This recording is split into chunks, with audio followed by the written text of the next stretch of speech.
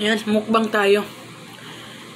Mukbang tayo ng kamuto, kamuto Q, kamote Q, ayan. Ayan, hindi ko gaanong nilagyan ng brown sugar. Ayan, may sugar naman siya pero hindi madami kasi itong sa itong kamote ko na binili, orange ang ano, ang kulay. So, matamis-tamis din siya, guys. Mm. Mm. Meron namang, ano, sugar. Hmm, kita niyo yung sugar? Mm. Brown sugar. Lamig siya. Lamig kayo. Ito yung masarap na merienda sa atin sa Pilipinas. Sa susunod, saging naman ang gagawin ko, saging.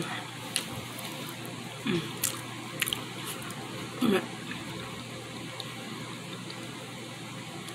Merienda ko in the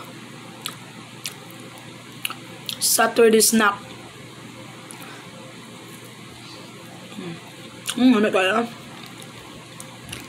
Hmm. Ano tayo?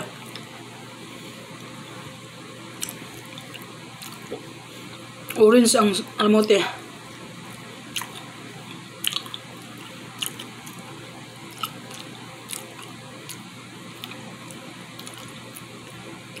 Mmm, ano kaya?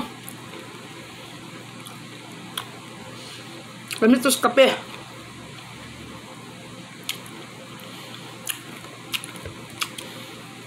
No, no, tumikim na si Honey. Hmm?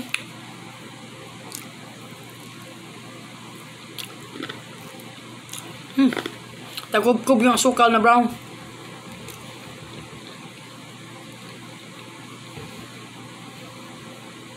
Diba guys? Dami.